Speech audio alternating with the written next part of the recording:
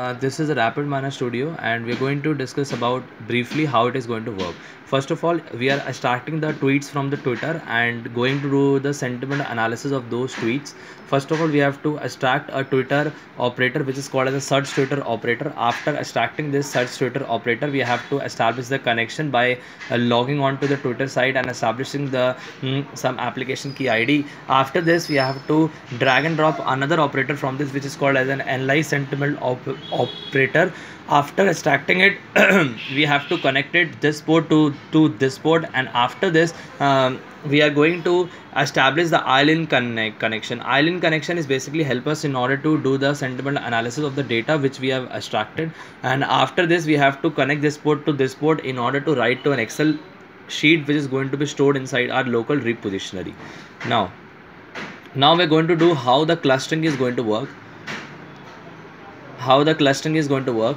First of all uh, so uh, suppose the data which we have extracted inside the previous process we have to retrieve it with the help of an operator called as a retrieve sentiment operator. After the, after that we have to use another sub process mm, in which we are basically uh, briefly uh, selecting some attribute and then replacing some missing value with something. And finally we are setting the rules mm.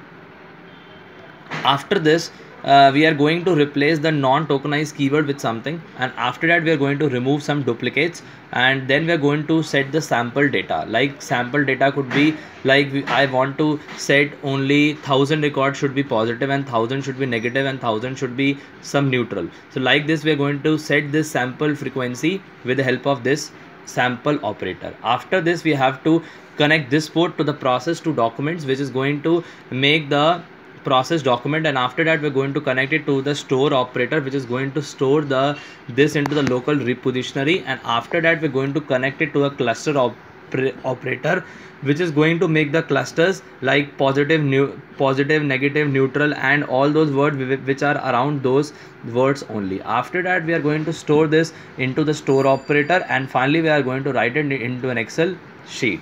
Similarly we are going to make another process and only difference in this and the previous one is from this point.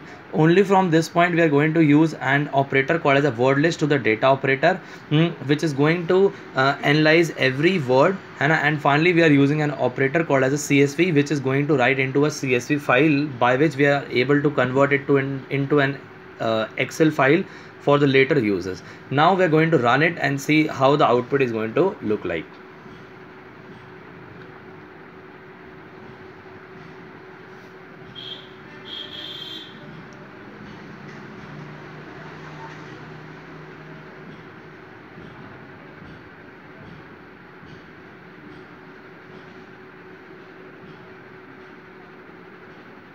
like this way we are going to get something like mm, we are able to get some words and in documents this thing. Now total is this much and this is the negative. In this is all this is positive this is neutral and like this way we are going to get the data and finally we are going to use it and into our web page and uh, display the results. Thank you